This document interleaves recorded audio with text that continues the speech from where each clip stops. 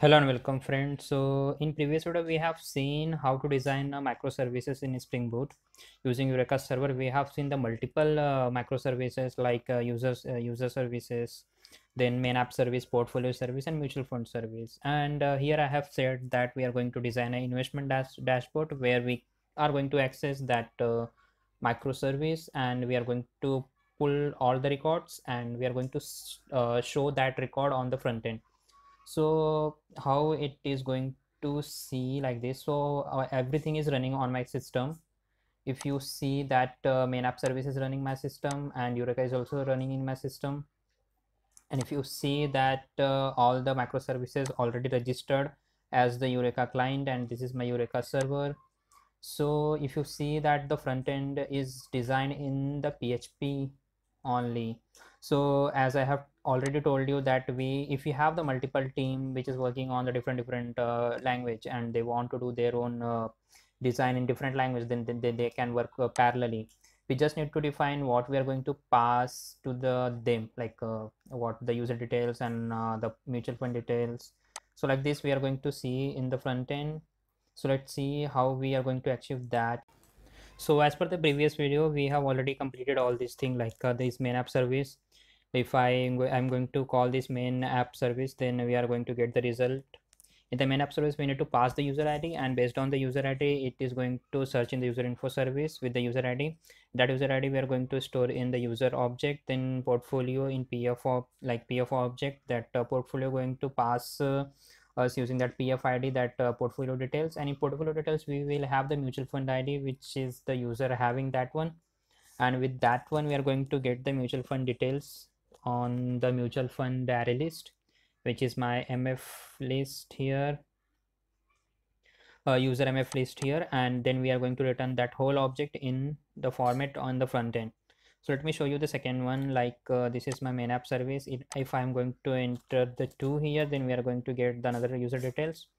And uh, if i'm going to pass uh, like currently we are going to see here which one uh, user? Which is the govind user we are going we, we are we are seeing here.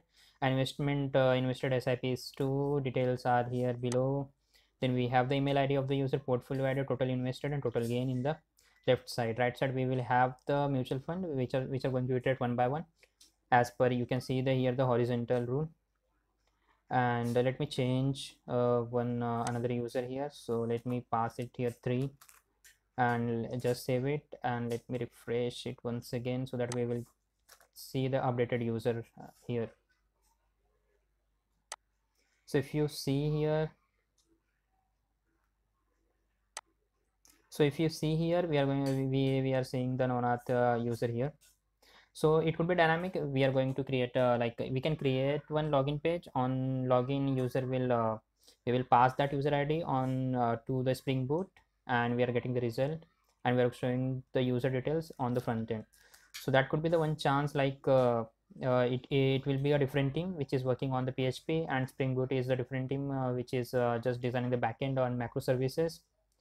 Based on that data uh, like whatever the required uh, we are going to just like we are we are just calling that microservice url in php and we are getting the result on the front end so let me show you the php code how we are going to achieve that one.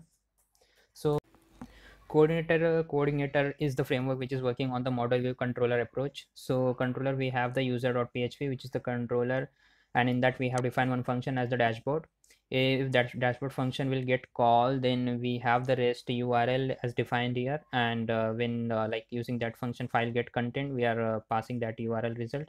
Using this uh, function we will get that url uh, uh, data in the op variable. And that variable we are going to store in the data result.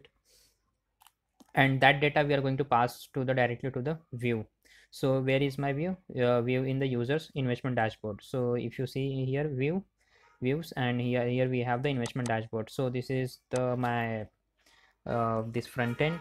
Here what what we need to do i'm just taking uh, you no, no need to take there take care of that css part which is a different thing. I'm just taking that uh, uh, that result inside my master uh, master variable and uh, here I am defining the list which is my holding list mutual fund details inside this one uh, dollar list so that I can iterate it easily.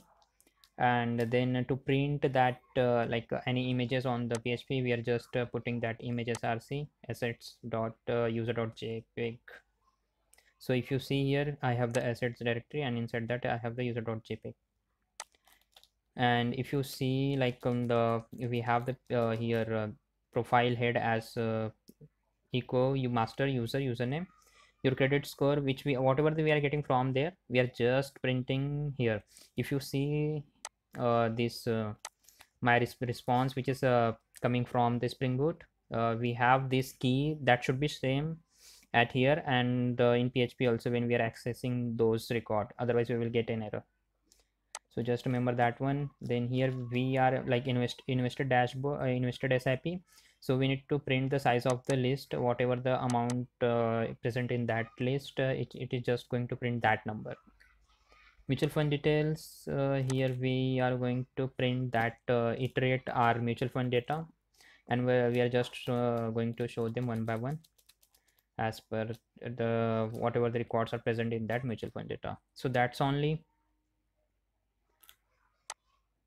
so like that we have access that uh, spring boot uh, services in my php application. So we have actually one uh, more thing like uh, if we have the multiple team which are working on the different different language and they want to use uh, my microservices so we will just expose that url to them and they are they can access. We just need to inform them that what we need.